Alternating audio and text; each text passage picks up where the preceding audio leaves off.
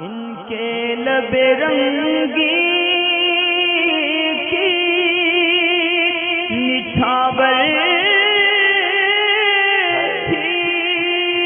कि जिसने शाहरुख, मीर मालूम ये करना चाहते हैं कि अपनी ज़िंदगी को शरीयत के मुताबिक बिताना चाहते हैं। सुन्नत वगैरह भी चेहरे पर रखना चाहते हैं, मगर रिश्ता लगा हुआ है और ससुराल वाले ये बात सुनकर और जो इनकी होने वाली बीवी हैं, वो भी इस चीज़ को मना करती हैं कि अभी दाढ़ी रखने की ज़रूरत नहीं है, कि अभी उम्र नहीं है तो ऐसी सूरत में इनको क्या करना चाहिए? मालूम ये करना चाहते हैं कि इनके वालदेन और दूसरे लोग भी इस चीज़ से नाराज़ होते हैं, अगर ये शरीयत की पासदारी करते हैं। तो देखिए, इसमें बात यह है कि जो होने वाली बीवी है, वो क्योंकि अभी बीवी बनी नहीं है और बीवी बनने के बाद भी उसको नाजायज़ काम का हुक्म देना तो जायज़ नहीं है। और क्योंकि अभी बीवी बनी नहीं, लेकिन घर बैठे अभी इस तरह से हुक्म चलाना कि जैसे अम्मा या नानी होती हैं कि आप दाढ़ी नहीं रखोगे, बिल्कुल भी दुरुस्त नहीं है।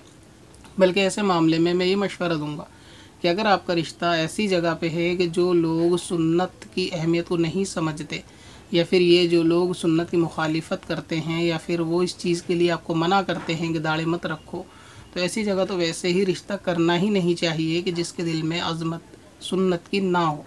बल्कि आप इसके अंदर ख़ुद को नीचे ना दिखाएँ, बल्कि ऐसे रिश्ते आए करें तो उन लोगों से भी अर्ज़ है कि जहाँ दाढ़ी का मसला अड़ता है कि जो लोग ये कहते हैं कि नहीं, शौहर की जो है वो दाढ़ी नहीं होनी चाहिए तो वहाँ रिश्ते को आप खुद पहले ही मना कर दें कि हमको ऐसे घर में शादी नहीं करनी कि जो लोग दाढ़ी के जो है वो मुखालिफ रखने से दामाद को, होने वाले दामाद को वो रोके। तो इसके अंदर आप ससुराल वालों की बात ना सुने, अगर आपको दाढ़ी आपने रख ली है तो फिर उसमें कटवाने की भी ज़रूरत आपको हरगिज़ नहीं है। चाहे आपकी होने वाली अहलिया कहें, या फिर उनके वालदेन, यानी आपके सास ससुर कहें, या फिर ससुराल में कोई भी कहे, यहाँ तक कि अगर वालदेन भी आपको कहते हैं दाढ़ी कटवाने का तो उनकी बात भी नहीं मानी जाएगी। अल्लाह ताला की नाफरमानी में किसी की फर्मा बरदारी जायज़ नहीं है। लिहाजा आप जो है वो सुन्नत की पैरवी करें, शरीयत की पैरवी करें। जो चीज़ आपके ऊपर फ़र्ज़ और वाजिब है, उसमें किसी की इतात नहीं हो सकती। मसलन ये कि वालदेन ये कहें, नमाज़ ना पढ़ो। तो उनकी बात नहीं मानी जाएगी। हाँ अगर कोई ऐसे नफली काम है मुस्तहब काम है कि जिनको वो किसी वजह से मना करते हैं, उनके बदले में कोई दूसरा काम कहते हैं तो वहाँ पर गुंजाइश निकल सकती है। मगर क्योंकि दाढ़ी का रखना सुन्नत है मौकदा बल्कि वाजिब के दर्जे का है तो इसलिए यहाँ पे वालदेन या ससुराल वालों की बात नहीं मानी जाएगी। और फिर रिश्तों को तलाशने के लिए ऐसी जगह पे, जैसे मदरसे वगैरह में भी लड़कियाँ पढ़ रही होती हैं, या फिर इस तरीके के जो दीनी घराने होते हैं, वहाँ पर रिश्ता तलाशने की पहले कोशिश कीजिए।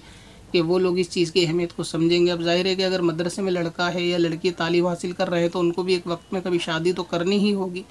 तो अगर आप इन्फॉर्मेशन निकालेंगे किसी मदरसे में कि भाई अगर कहीं रिश्ता वगैरह इस मदरसे में हो शादी के ताल्लुक से तो उनके वालदेन से बात करके बताएँ। तो इस तरह रिश्ते जो है वो मदरसे में भी लग जाते हैं और ऐसी जगह ही तलाशने चाहिए कि जो लोग इस्लाम में शरीयत को अहमियत देते उनको चाहिए कि दुनियादारों के घर से हट के पहले मदरसे का रुख किया करें, मस्जिदों का रुख किया करें, दीनी घरानों का रुख किया करें, जहाँ पे ये सारी पाबंदियाँ, रुकावटें ना आए।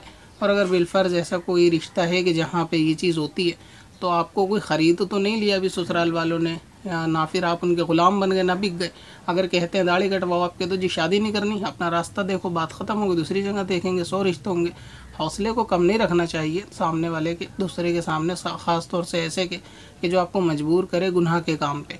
अब ज़ाहिर है कि अगर रिश्ता हटाएँगे तो ऐसा नहीं है कि आपका कहीं रिश्ता नहीं होगा। अल्लाह तबारक ताली ने जो तकदीर लिखी होती है, उसके मुताबिक ही मामला जो है वो अंजाम पाते हैं।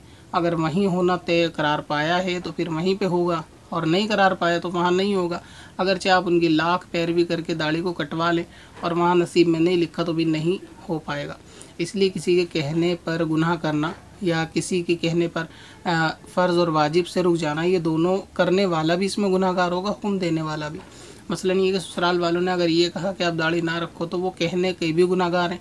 अगर आपने उनकी बात पर अमल कर लिया तो आप भी गुनाहगार हैं। बहरहाल ये कि आपको सुन्नत और शरीयत की पाबंदी करनी चाहिए, अगरचे रिश्तेदार नाराज़ हो जाएँ। और जो ये कहते हैं कि एक उम्र होती है रखने की दाढ़ी और उम्र के हिसाब से रखो तो जब दाढ़ी आ जाए उसके रखने की उम्र वही होती है। अगर उम्र वो नहीं होती तो दाढ़ी उस उम्र में नहीं आती। पाँच साल के बच्चे की दाढ़ी रखने की उम्र नहीं आती, लिहाजा कुदरत ने उस वक्त उसके दाढ़ी का कोई मसला रखा भी नहीं। तो जब कुदरत ने दाढ़ी को उगाने का मसला उस उम्र में, वजूद में आया है तो मतलब वही उसकी उम्र है। तो उसमें यह कहना कि उम्र अभी नहीं है तो अभी देखें, बीस साल के लड़के मर भी जाते हैं। तो कोई मरने की भी उम्र नहीं होती, बीस, तीस साल तक आदमी साठ और पैंसठ एवरेज रहना चाहिए। मगर ये कि जिस तरह मौत भी हर वक्त आ सकती है, उसके भी कोई वक्त तय नहीं है। इसी तरह आदमी को हमेशा अपनी कब्र और आखिरत की फ़िक्र में रहना चाहिए। हाँ ये इतना ज़रूर है कि बदकलामी से काम न ले, बड़ों से अगर वो मना करते हैं तो प्यार, मोहब्बत से ही समझाए। ज़्यादा हो अगर बोले तो उनको जवाब ना दें, बदकलामी से काम ना लें। मगर ये कि सुन्नत की पैरवी जो है वो करें, अगर पत्थर में असल पुरनवार